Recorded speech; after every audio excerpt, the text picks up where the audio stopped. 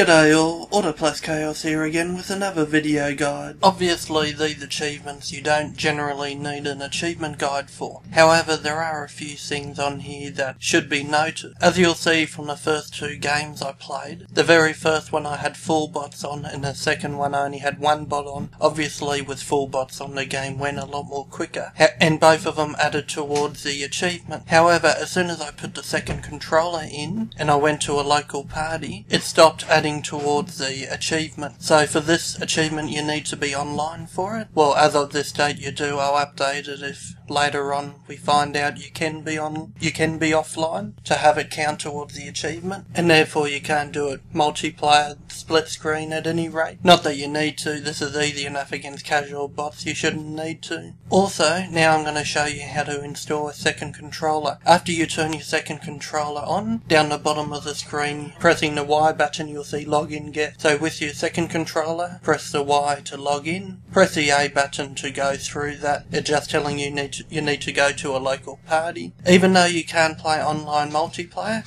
you can do the campaign online split screen. So it's going to take you back to the main screen. Make sure to press start on your very first controller, the one with the main profile on it. I guess it doesn't really matter, but if at a later, later date they allow you to log onto the internet, play online games split screen, then you'll need to be with your main controller. To log out, press the Xbox guide button on your second controller, switch profile, press the X button. It'll bring you back to the main screen, press start with your main controller. Then when you're back at the menu for the campaign, survival, etc., you can turn your second controller off like what I did. To change if you're in a local party or online, press the back button on the main menu where I am. Then you can put it onto invite only, joinable friends, public, etc. Enjoy!